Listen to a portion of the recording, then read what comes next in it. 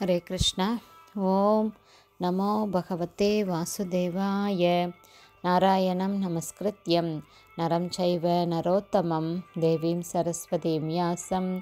ततो जयम् उदीरयेत्। नष्टप्रायेषु अभद्रेषु नित्यं भागवतसेवयां भगवती उत्तमश्लोके। भक्तिर्भवति नैष्टकी। முகம் கரோதி வாச்சாலம் பங்கும் லங்காயத்தே கிரிம் யத்கிருபா தமகம் வந்தே ஸ்ரீகுரும் தீனதாரிணம் பரமானந்த மாதவம் ஸ்ரீ சைத்தன்ய ஈஸ்வரம். ஹரே கிருஷ்ணா ஸ்ரீல குருதேவ்க்கு ஜெய். ஸ்ரீல பிரபாதுக்கு ஜெய். ஹரே கிருஷ்ணா ஸ்ரீமத் பாகவதம் ஸ்கந்தம் நான்கு அத்தியாயம் இருபத்தி இரண்டு பிருது மகாராஜாவை நான்கு குமாரர்கள் சந்தித்தல் என்னும் தலைப்பில் பதம் நாற்பத்தி இரண்டு.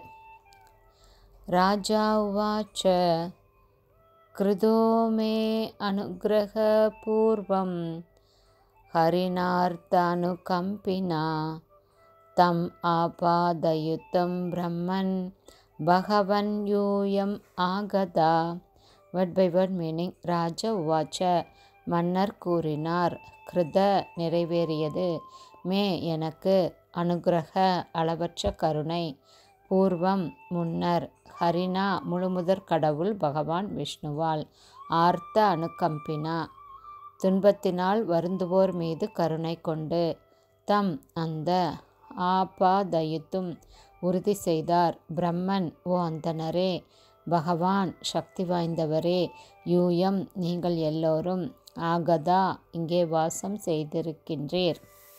டிரான்ஸ்லேஷன் மன்னர் பிருது கூறினார் ஓ அந்தனரே ஆற்றல் மிக்கவரே முன்னர் பகவான் விஷ்ணு என் மீது கொண்ட தனது அளவற்ற கருணையினால் நீங்கள் எல்லோரும் எனது திருமாளிகைக்கு வரவிருப்பதாக குறிப்பிட்டார். அதுபோல நீங்கள் வந்ததன் மூலம் அந்த ஆசையை பூர்த்தி செய்துள்ளீர்கள். பர்பட் பை ஷிலப்பிரபா ஜெய் ஷிலப்பிரபா பிருது மகாராஜா செய்த அஸ்வமேத யாகத்திற்கு வந்து அருள் செய்தபோது பகவான் விஷ்ணு குமாரர்களும் விரைவில் இங்கு வரவிருப்பதாக குறிப்பிட்டார். ஆதலினால் பிருது மகாராஜா பகவானின் அளவற்ற கருணையினை நினைவு கூர்ந்து குமாரர்களின் வருகையின் மூலம் பகவானின் கணிப்பு நிறைவேறியது என்று கூறினார். இதையே வேறுவிதமாக பகவான் ஏதேனும் ஒன்றை பற்றி கணித்தால் அந்த கணிப்பினை அவர் பக்தர்கள் சிலர் நிறைவேற்றுவார்கள் என்றும் கூறலாம். இதுபோலவே சைத்தன்ய மகாபிரபுவும் பகவானின் பெருமை மிக்க நாமங்களும் ஹரே கிருஷ்ண மகா மந்திரமும் இந்த உலகத்திலுள்ள நகரங்கள் கிராமங்கள் எல்லா இடத்திலும் பரப்பப்படும் என்று கணித்தார். ஸ்ரீல பக்தி சித்தாந்த சரஸ்வதி பிரபுபாதா அவர்களும் அந்த உயர்ந்த கணிப்பு நிறைவேற வேண்டும் என்று விரும்பினார். நாம் தொடர்ந்து அவர்கள் பாதையை பின்பற்றி கொண்டிருக்கிறோம். பக்தர்களை பொறுத்தவரை பகவான் அர்ஜுனனிடம் கூறுகிறார் கௌந்தேய பிரதிஜானீகி நாமே பக்தக பிரணஷ்யதி. அதாவது குந்தியின் மகனே நீ அறிவிப்பாயாக என்னுடைய பக்தன் எப்போதும் வீழ்வதில்லை என்பதை நீ அறிவிப்பாயாக என்று கூறுகிறார். பகவத்கீதை ஒன்பதாவது அத்தியாயம் முப்பத்தி ஒன்றாவது ஸ்லோகம். இதில் நாம் குறித்து கொள்ள வேண்டியது என்னவென்றால் பகவான் தானே இது போ இது போன்ற அறிவிப்புகளை செய்யக்கூடும். ஆனால் அர்ஜுனன் போன்ற பக்தர்களின் மூலம் அறிவிக்க பகவான் தானே இது போன்ற அறிவிப்புகளை செய்யலாம். ஆனால் அர்ஜன் அர்ஜுனன் போன்ற பக்தர்களின் மூலம் அறிவிக்கச் செய்தது ஏனென்றால் தன்னுடைய வார்த்தைகள் சாகாது என்பதனை இரண்டு மடங்கு உறுதி செய்வதற்கே. பகவான் இவ்வாறு பிரதிஜை செய்யும் பொழுது அவரது நம்பிக்கைக்கு பாத்திரமான பக்தன் அதை நிறைவேற்றுகிறான். அழுந்தும் மக்களின் நன்மைக்காக பகவான் எத்தனையோ சத்தியங்கள் செய்திருக்கிறார். வருந்தும் மனித இனத்தின் மீது பகவான் இத்துணை கருணை மிக்கவராக விளங்கிய போதும் மனிதர்கள் அவருக்கு தொண்டு செய்ய போதுமான ஆர்வம் காட்டுவதில்லை. இது தந்தைக்கும் தனையனுக்கும் உள்ள உறவை போன்றது. தனையனின் நன்மையில் தந்தை ஆர்வமிக்கவராக இருந்த போதிலும் மைந்தன் அவரை மறக்கவோ அல்லது வெறுக்கவோ செய்கிறான். இதிலுள்ள அணுகம்பினா என்னும் வார்த்தை முக்கியத்துவம் வாய்ந்தது. பகவான் உயிர்களின் மீது பரம கருணை உடையவர். அதனால்தான் வீழ்ந்துபட்ட ஆத்மாக்களை மீட்பதற்காக அவர் இந்த உலகத்திற்கு வருகிறார். யதா யதாஹி தர்மஸ்ய கிளானிர் பவத்தி பாரத. அப்யுத்தானம் அதர்மஸ்ய ததாத்மானம் சிருஜாமியகம்.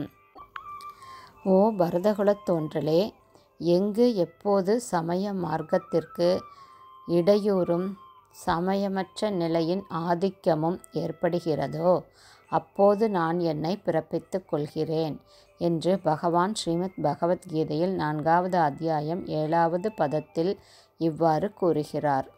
இவ்வாறு பகவான் கிருஷ்ணர் தனது அளவற்ற கருணையினால் பல்வேறு அவதாரங்களை எடுக்கிறார். பகவான் ஸ்ரீகிருஷ்ணர் வீழ்ந்துபட்ட ஆத்மாக்களின் மீது கொண்ட கருணையினாலேயே இங்கு அவதரித்தார். அசுரர்களால் அழிக்கப்படும் எளிய மிருகங்களின் மீது கொண்ட கருணையினால் பகவான் புத்தர் அவதரித்தார். பிரகலாத மகாராஜாவின் மீது கொண்ட கருணையினால் பகவான் நரசிம்மதேவர் அவதரித்தார்.